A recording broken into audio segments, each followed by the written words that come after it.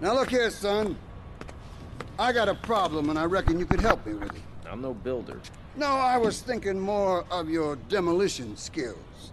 Now, this here, this is the development as planned, and this, this is the property that we're looking at.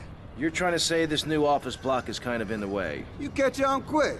Now, I'm gonna head out of town for a while, and if that office development were to face sudden and insurmountable structural problems, then I... As a civil-minded individual, you feel obliged to step in and save the rejuvenation of an important area of the city.